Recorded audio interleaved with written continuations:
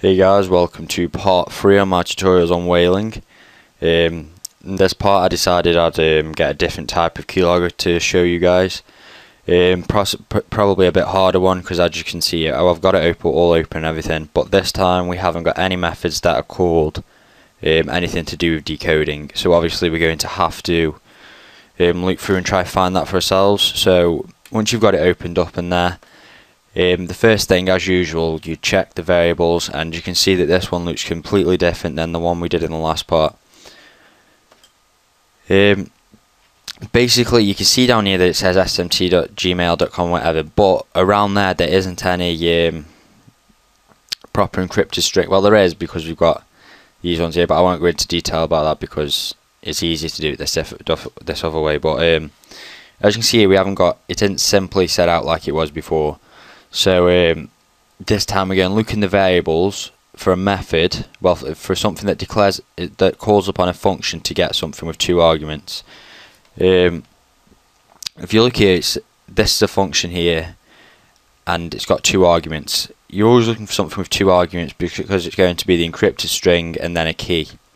Um, so what we're going to do here, we can see that here there's two lots here, and that just looks like to me a username and password two encrypted strings and two keys. So I'm just going to click this function to see where, as you can see the function is the same on both as well, so that's likely to be a decoding function. So we're going to just click the function. As you can see straight away here, we can see that it's got all decrypt here and strings like that in here, so it's this is highly likely going to go and be the decrypt here method. So I'm just going to copy that yeah, I saw some people having some troubles in the last tutorial as well. Make sure you change this up here to whatever you're coding in. I'm in Visual Basic, so... Um, this is the project source that we had last time, so I'm just going to delete this um, triple DS decode function.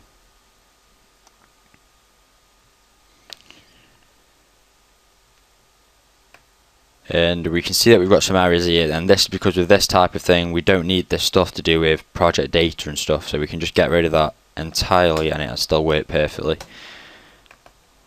Um, you can see we've got return str but str hasn't been given a value so we'll just set this to um, 1 and that's if um, for example if um, there is an error or something it'd give just the value 1 in the box um, now we need to change this triple DS code to whatever this function is called up here.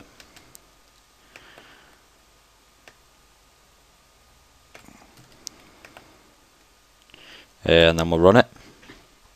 And this is going to be a bit of a quicker tutorial than the one um, last time, simply because it's I don't have to go through the basics and it's simply just showing you a different type of keylogger.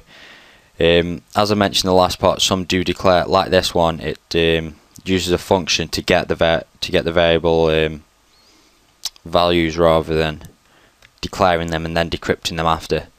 Um, so if you, if it's like this, which is a high, another high percentage of keyloggers, then you can do it pretty easily.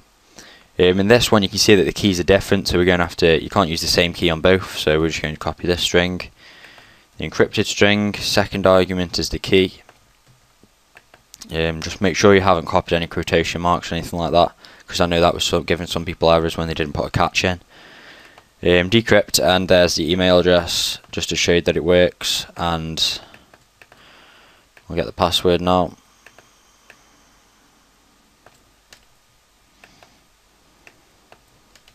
Remember, you're going to need to change this key because this key won't be the same.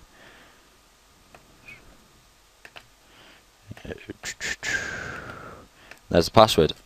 Um, it's really that simple. Um, why am I maximising it? Um, this is just one more type of keylogger. I'll probably um, go through one other type of keylogger in the next part and then maybe do some advanced things in part 5 and then I think that should do. I mean it's not a hard process. Um, once you've got the gist of it you'll just be able to look around the program and just find things that look right. Just remember if it um, doesn't look like the one we did last time and it's something like this and it nothing's really obvious, look for something with two arguments. If it's got two arguments, it's highly likely it's going to be a decoder or something. Especially if the strings look like the passwords. I mean, all most keyloggers, the password will end in two equals because it's coded in, um, well, encrypted in base 64 last, which is obviously the two equals. So, just look around. I mean, you could if you there's no harm in just clicking random functions. I mean, that was using that function as well. But if we just click a random string, whatever, if you just start clicking around, you'll get the gist of where where everything is, and hopefully you'll be able to find it quickly. But as you can see, with something like this, we can decrypt, create a decryptor, and actually get the decrypted strings in like under 30 seconds. So, um, I think that's about it for this part. Um, yeah, thanks, guys.